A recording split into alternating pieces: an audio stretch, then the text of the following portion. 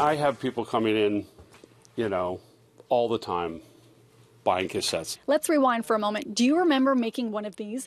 Mixtapes used to be all the rage, but actually more artists are releasing their music on cassette, and some of them are going for a pretty penny. There is a new generation of music lovers falling in love with the sound of a tape rewinding.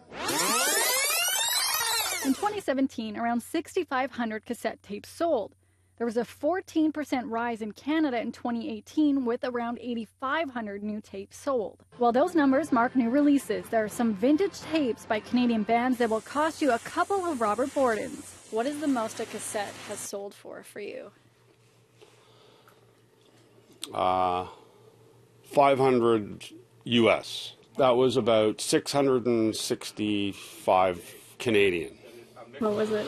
It was Barenaked Ladies.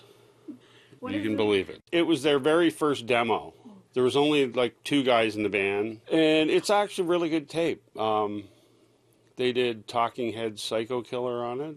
Scott Kramer is a musician and owns the music store Neurotica Records in downtown Toronto. He's also a cassette enthusiast. There's about like 20 boxes like this around, just just of like my own tapes. I never got rid of them. Kramer has noticed a steady demand for cassettes and says that the record industry has taken note. There's a bunch of new bands getting putting their stuff out on tape.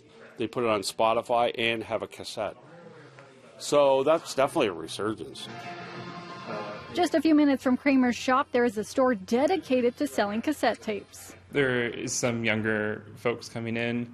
Um, we do have like some very young, some children coming in who have never seen tapes before, and uh, we get to show them how it works, and that's pretty exciting. If you are looking to expand your music collection to include some cassettes and you're worried over how you're going to play it, there are some companies that are releasing a new version of the Walkman.